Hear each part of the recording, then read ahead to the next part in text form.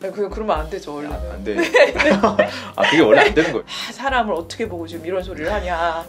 화를 막 불같이 내고 어 그때 뭐 이런 이런 문제 있었는데 내가 이거 구청에다 찌를 거야. 안녕하세요. 안녕하세요. 네. 네. 혹시 자기 소개 간단하게 좀 부탁드릴까요? 네. 어, 저는 법률사무소 기린의 예, 건설 분쟁 전문 변호사 네, 최은영이라고 하고요. 건설 사건을 전문으로 지금 11년 차 정도 네, 변호사로 일을 하면서 예, 건설 관련 분쟁을 이제 수천 건 다루어 온 네, 변호사입니다. 네. 수천 건. 네. 엄청 많이 하셨네요. 네, 네. 이제는 뭐 거의 뭐 점쟁이에요. 네. 앞으로 앞으로 어떻게 될지 이렇게 툭 치면 우리 전원주택을 지을 때 어, 흔하게 당하는 건축 사기가 있다고 들었는데요. 네. 가장 심하게 네. 가장 흔한 사례가 어떤 게 있을까요? 네, 거의 이 전원 주택 하면은 어, 굉장히 그 유형이 좀 정해져 있어요. 아, 대표적으로 어떤 식이냐면요. 이제 넓은 토지를 가지고 이제 좀 이제 지분을 또 이렇게 나눠서 이제 이 토지 전체를 이제 뭐 누구 누구 누구 뭐 여섯 명, 뭐 여덟 명 이렇게 해서 지분으로 소유권을 준다 이렇게 하고 나서 이 전원주택을 각각 이제 여섯 개, 뭐 여덟 여덟 채 뭐 이런 식으로 지어서 이제 그거를 이제 가지시면 됩니다라고 얘기를 해서 계약을 하세요. 근데 이 토지 소유권 자체가 지분으로 소유하는 거는 사실은 이제 이 토지 자체를 잘라서 팔 수도 없고, 예, 그게 굉장히 이제 처분을 하기가 권리 행사를 하기가 굉장히 어렵거든요. 그런데 이제 토지는 이제 지분으로 그렇게 묶여 있는 데다가 어 다른 집은 뭐 조금씩 조금씩 지어주고 있는데 우리 집은 시작도 안 했고 그게 이제 아 지어줄 거예요 지어줄 거예요. 하면서 돈만 달라 그래가지고 뭐 계약금이다 중도금이다 해가지고 뭐 토지 대출금 해가지고 대출 받으셔서 이자는 나가는데 공사비도 상당히 줬는데 우리 집은 시작도 안 하고 있다. 또한은 조금 짓다가 아유 돈이 더 들게 생겼다. 물가가 너무 많이 올랐다. 이러면서 추가 공사 대금 요구해가지고 이거를 계약을 해지할 수도 없고 안 할 수도 없고 지금 이 전원 주택을 지어주겠다라고 이제 어, 유인 행위를 해서 이 계약을 체결한 거는 이제 이거에 대한 시행사. 예, 시행사라고 이제 법인이 따로 있고 이거를 또 건설을 맡은 이제 건설사는 또 따로 있거든요. 근데 이 시행사는 가만히 보니까 어 우리한테 받은 돈을 벌써 이제 다른 데다 다 써버렸고 돈도 없고 그다음에 이 건설사는 이거 뭐 지어주세요 왜 안 지어주세요 막 이러니까 시행사가 돈을 안 줘가지고 지금 공사를 못 하고 있습니다. 그러면 좀 돈을 더 주실래요 저한테 이런 식으로 나오는 거죠. 그래서 이제 난감해 하- 난감하다 소송 가야 되냐 이렇게 해가지고 오시는 경우가 생각보다 너무 많은데요. 근데 이렇게 이제 이런 사태가 벌어져서 저한테 오시면 저도 너무 답답하거든요. 왜냐면 시행사 돈 없죠. 이 시공사도 사실 돈이 없어요. 예, 제대로 이제 자력이 없는 경우가 너무 많기 때문에 소송을 가시는 게 또 실익이 있는지. 그게 가장 흔한, 네 가장 흔한. 네. 예, 가장 많고? 가장 많고. 네. 해결은 그러면 어떻게 되나요? 해결은 이제 예, 자발적으로 이제 계약을 해지하겠다라고 하셨을 때 이 시행사가 이제 자발적으로 돈을 돌려주지 않으면 소송을 가야 돼요. 이제 법원에 가서 그 판결문을 받아서 강제적으로 돈을 뺏어 오는 그런 절차를 거칠 수밖에 없고요. 근데 이제 소송은 막 1년씩 걸리기 때문에 내가 넣은 돈을 찾아오는데 이제 시간이 많이 걸리죠. 그리고 시행사가 돈이 없다.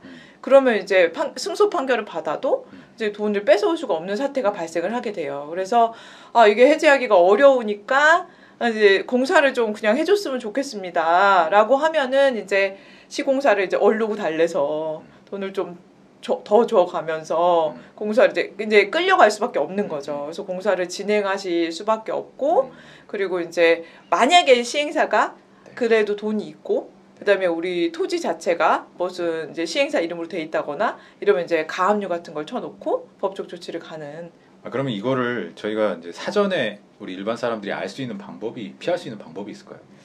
아, 일단은 이제 전원주택 계약을 하실 때 이 시행사 그리고 이 공사를 맡을 시공사가 좀 튼튼한 회사인지를 좀 알아보실 필요가 있을 것 같아요. 근데 그거는 이제 뭐 관상만 보고 알 수가 없잖아요. 네. 그러니까 이 시행사한테 이제 계약 체결하시기 전에 어, 좀 이게 만약에 공사가 이때까지 안 되면 어떻게 책임을 질 거냐. 그래서 니네 회사가 그러면은 뭐 자력이 좀 있는 것이냐. 뭐, 그래서 담보를 해줄 수 있는 것이 있냐. 뭐 이런 것들을 좀 물어보세요. 근데 그런 거를 이제 꼬치꼬치 물어보면 만약에 시행사가 아, 사람을 어떻게 보고 지금 이런 소리를 하냐.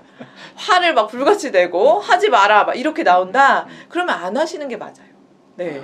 아, 그러니까 그 왜냐면은 예, 느낌이 네네네네. 왜냐면은 자기가 충분히 이 건설을 해줄 의사가 있다면, 의사와 능력이 있다면, 그 화낼 이유가 없거든요. 아, 우리 회사는 토지가 이제 우리 회사 명의로 이렇게 되어 있고, 그리고 이 건설사도 튼튼한 회사라서 뭐 연간 매출액이 이 정도 나오고 있고, 그리고 이 시행이, 이행이 안 되면 저희가, 어, 뭐 이제 위약금, 혹은 이제 뭐 지체상금 이런 것들을 계약서에 조항으로 넣어드리겠습니다. 이렇게 얘기를 못할 이유가 없거든요. 왜냐면 그냥 위약금 이런 거는 그 약속한 기간 내에 공사가 완성이 된다면 아무 의미가 없어요. 예. 그러니까 공사 이행되면 뭐 지체상금이든 위약금이든 뭐 이 공사만 이행되면 아무 의미 없는 돈인데 근데 그거를 아 못 써준다. 예, 아니다. 뭐 담보 뭐 그런 소리 하지 마라. 믿고 가야 된다. 이렇게 얘기를 하는 경우에는 좀 조, 조심하셔야 된다. 예, 의심, 의심을 음, 네네. 해봐라. 공유 지분 얘기가 나와서 말씀드린. 그러니까 공유 단독 주택이나 네네. 전원 주택을 지을 때 네네. 공유 지분을 우리 변호사님이 바라보는 어떤 시각이 네. 어떠신지. 아, 그 공유 지분이 뭔지를 이제 많은 분들이 좀 아셨으면 좋겠어요. 그러니까 법을 어, 알면 굉장히 유용하거든요. 근데 이제 우리는 너무 이제 법을 모르고도 잘 살아갈 수 있다. 이렇게 생각들을 많이 하셔서 저는 이제 고등학교 때 좀 법을 많이 가르쳐 줬으면 하는 생각이 있는데요. 공유 지분이라는 거는 이 어떤 일정한 땅을 그 지분을 나누어서 소유를 하는 거예요. 그러니까 찍사원님과 제가 만약에 50대 50으로 이 땅을 소유를 한다라고 한다면 그 50대 50은 개념상으로만 존재하는 거예요. 그러니까 제가 이 땅을 아, 난 반을 이걸 가질 테니까 반만 쓰세요. 이렇게 할 수가 없어요. 그리고 뭐 반만 내가 처분을 한다거나 뭐 가가지고 마음대로 한다거나 이럴 수가 없고 그냥 이 공유 지분 공유 지분권자가 이 소유를 하는 이 땅에 대해서는 뭐 팔거나 뭐 검축을 하거나 이런 처분 행위를 할 때는 동의가 있어야 돼요. 근데 어, 이 공유자가 여러 명이다. 음. 열 명이다. 이러면 이제 열 명 전원의 동의가 있어야 되기 때문에 어떤 처분권 행사하기가 쉽지가 않죠. 그래서 사실은 뭐 토지를 만약에 뭐 투자를 하신다. 음. 뭐 이거 오- 토지 가격 오르면 음, 어 수익이 납니다. 음, 이, 이렇게 해서 뭐 나대지를 사실 때도 공유 지분으로 산다 이러면은 일단은 안 사시는 게 좋아요. 아, 그 아무것도 할 수가 없어요. 기획 부동산이 네네네 그렇죠. 어, 네네네 지분은 아무 의미가 없다. 개념상으로만 소유권이 존재하는 것이다. 이렇게 생각하시면 되고요. 그런데 이제 아까 말씀하신 해주신 땅콩 주택의 경우에는 이 공유 지분을 이제 서로 각자 이제 소유를 하면서 여기에 땅콩 주택이 제대로 올라가서 음, 내가 그 집에서 살 수 있다면 음, 당연히 아무 문제가 없어요. 이 땅을 뭐 쪼개서 사, 이렇게 땅콩 주택을 지을 수가 없기 때문에 아파트도 마찬가지죠. 그래서 이 지분으로 이 소유를 하는 거는 굉장히 이제 보편적인 형태인 건 맞거든요. 그래서 이 땅콩 주택 이 지으실 때 토지를 지분으로 소유하는 거는 괜찮다. 그거는 아무 문제가 없다. 그런데 이 건축이 제대로 돼서 음, 이 지금 이, 이 지금 구분 소유권이라고 하거든요. 이 건축물에 대한 이 일정 부분을 점유할 수 있는 이거 이게 이제 소유권 행사가 제대로 될 수 있느냐. 그거를 좀 유념해서 보셔야 돼요. 그러니까 건축이 제대로 될 수 있을지 각자 돈을 얼마를 투입을 해- 하면 뭐 건, 건설사가 언제까지 돈 이걸 집어 넣어 주는 건지 안 되면 우리가 이거를 어, 건설사를 뭐 변경하거나 내지는 이 토지를 처분할 때 어떻게 할 건지 이런 거에 대한 우리는 항상 약속이 이행이 안 됐을 때를 대비를 잘해야 되거든요. 음, 그런 거에 대한 약속이 구체적으로 예, 되어 있어야 안전하다. 그러니까 공유 지분이라고 무조건 나쁜 건 아니고 네, 그렇죠. 그런 약속만 제대로 돼 있으면 네네. 안전하다. 네, 네, 네. 자 전원주택 그 사기가 가장 흔한 사기에 대해서 얘기를 들었는데 그러면 어, 두 번째 사기는 어떤 게 있을까요? 이 건축을 하실 때 이제 가장 유념하셔야 될 게 바로 이 건축 사기거든요. 그러니까 건설사가 네. 아 제가 잘해 드릴게요. 네, 예, 뭐 걱정하지 마세요라고 해가지고 이 건물을 뭐 3억에 지어주기로 약속을 했는데 막상 시작을 해 보니까 뭐 이 뭐 건설사는 어디서 명의를 빌려온 이름이었고 이 사람은 뭐 건설 해 주겠다고 한 사람은 뭐 여기 소속 직원도 아니고 뭐 그 A라는 건설사의 직원도 아니고 그리고 이제 뭐 그 건설사랑 직접 계약을 한 거라 하더라도 어 공사를 조금 하다가 아이고 돈을 더 주셔야 돼요. 아이고 돈이 더 들어갑니다. 뭐 공사 못 해요. 이렇게 안 주시면 돈 못 못 해요. 그러면서 돈을 안 줘서 공사를 못 했다. 이런 식으로 이제 약속한 날짜에 딱딱 돈을 줬는데도 불구하고요. 그런 식으로 나와서 공사가 중단되고 음. 그리고 이제 건설사는 돈도 없고 음. 예, 그리고 이제 그 가만히 들여다보니까 우리가 준 돈을 뭐 다른 현장에다가 다 써버리고 음. 네 그런 경우가 이제 많이 발생을 하거든요. 그래서 아 사실은 이- 이게 정말 이제 성실하게 하시는 이 건설사 음. 분들을 찾는 것이 너무 어려워요. 네, 너무 어려워서 아 정말 3대가 덕을 잘 쌓아야 할수 아니 있지 근데. 그 말씀 네. 중에 보통 공사할 때 다 그러지 않나요? 여기 현장이 여러 군데 있고 네, 이돈 받으면 이 돈 여기 돌려막고 돌려막고 이렇게 가잖아요. 네, 그 그러면 안 되죠 원래는. 안, 안 돼. 아 그게 원래 안 되는 거예요. 너무 흔하니까 네, 네, 네. 안 되죠. 여기, 아, 이 현장에서 받은 돈을 네. 이 현장에서 쓰라고 음. 보통 공사 대금은 좀 선급금을 많이 주거든요. 왜냐면 건설업체가 돈이 많이 없기 때문에 이 현장에서 이제 터파기도 해야 되고 예, 이제 뭐 이게 뭐 골조도 올려야 되고 하는데 쓸 돈을 이제 미리 주는 거예요. 음. 그래서 이제 그 돈을 받아서 이제 이 현장에다가 쓰면은 별 문제가 없을 텐데 음. 그런데 이거를 이제 다른 현장에다가 이제 막 메꿔버리니까 여기 현장에서 쓸 돈이 없어져 버리는 거죠. 네. 막을 수 있는 어떤 그런 게 있을까요? 네, 그래서 제가 뭐 이거를 딱 방지할 수 있는 뭐 건실한 건설사를 알아볼 수 있는 막 딱 그런 방법을 알려드리면 너무 좋겠는데요. 사실은 이제 그거를 네. 낱낱이 알아보기는 또 쉽지가 어렵죠. 않잖아요. 네, 쉽지가 않아서 이 뭐 이것 역시 어떤 건설사를 선정해서 어, 계약을 하실 때는 가장 중요한 것이 바로 계약서예요. 어떤 문제가 생겼을 때 큰 피해 없이 이게 좀 넘어갈 수가 있거든요. 음. 네, 그래서 우리가 문제 생겼을 때 넘어갈 수 있으면 뭐 괜찮은 것인데, 근데 그때 이제 넘어져 버리면 우리가 그 큰 문제잖아요. 그래서 계약서에 이제 제가 항상 말씀드리는데 이제 표준 도급 계약서, 표준 하도급 계약서라는 게 있어요. 그래서 저희 이제 법률사무소 기능 홈페이지에 올려져 있거든요. 아, 네. 그래서 그거를 좀 사용하시는 게 굉장히 중요하고요. 그리고 계약 체결하실 때 어, 이때까지 안 되면 어떻게 한다. 그러니까 이게 그게 바로 이제 위약금, 손해배상의 예정금이거든요.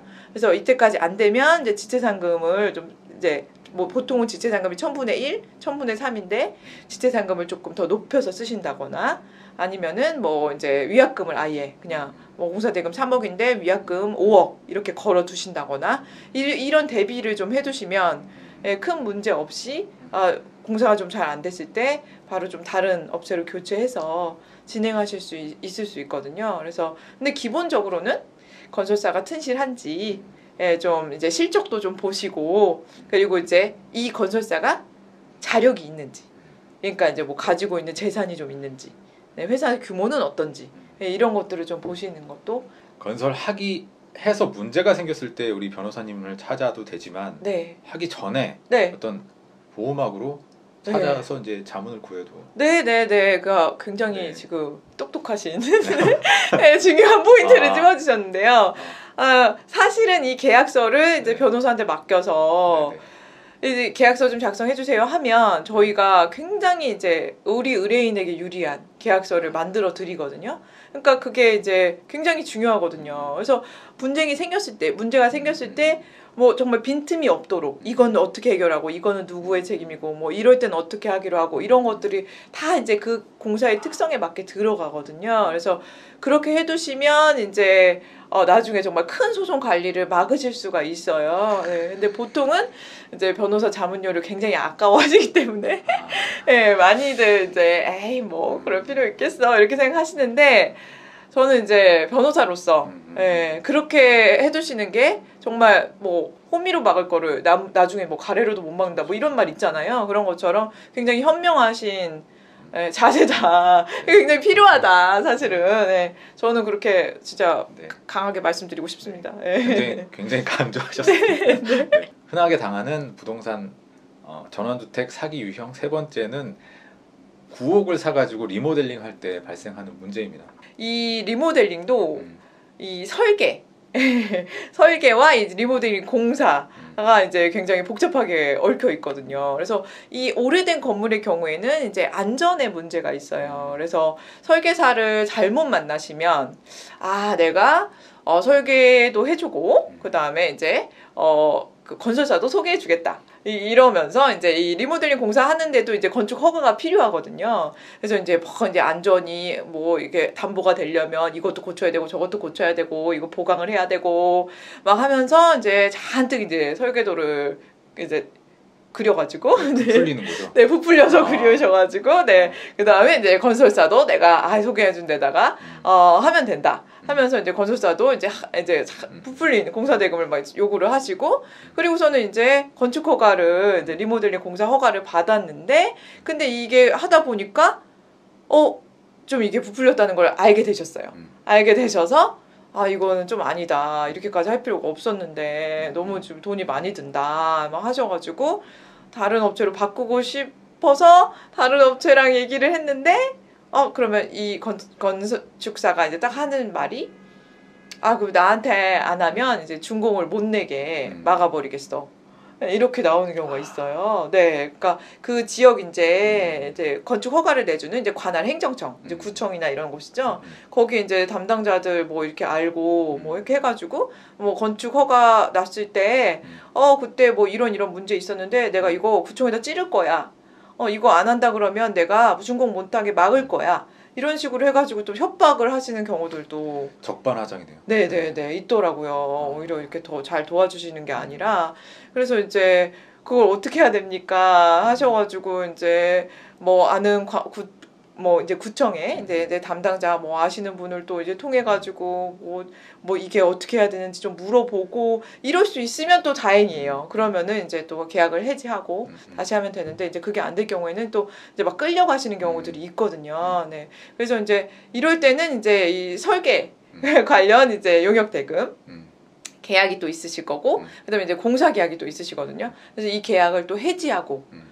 그래서 이제 부당하게 이제 상대방이 가져간 돈을 반환 청구를 하고 음. 공사업체 마찬가지로 네 부당 과지급된 대금은 반환 청구하고 그다음에 이제 또 손해배상 청구까지 음. 가야 되거든요. 이게 자발적으로 또 이제 합의로 이제 해결이 안 되기 때문에 또 소송을 가져야 되는 문제가 발생을 해요. 그래서 어 이런 리모델링 음. 이 단독주택 아무리 이제 작은 것이라도 에, 계약을 하실 때 이 처음 이제 건축사한테 얘기를 들으시고요. 음. 그리고 이런 보강이 정말 필요한 상황인지 음, 음, 이제 구청에다가도 좀 직접 알아보시고 음, 음. 그래서 이제 이런 것들이 좀 합리적인 것인지 검토를 받으시는 게 제 생각에는 굉장히 도움이 되실 것 같아요. 그러니까 어, 건축사 좀 이분 이, 이곳 저곳을 알아보시는데 이제 돈이 드시니까 조금 어, 이제 부담이 되실 텐데요. 이제 법률 상담도 마찬가지거든요. 제가 항상 말씀드리는 것이 아이고 이 법률 상담료 이제 아까워하지 마시고 좀 이 변호사 저 변호사 들어보십시오. 그러면 어, 누구 말이 맞는지 당사자시기 때문에 가장 잘 아실 수 있거든요. 제가 이렇게 말씀드리거든요. 그러니까 그런 것처럼 조금 미리 알아보시고 건축사 그리고 시공사를 선정하시는 게 어, 이런 큰 분쟁을 큰 피해를 막으시는 예, 좀 방법이겠다. 예. 네.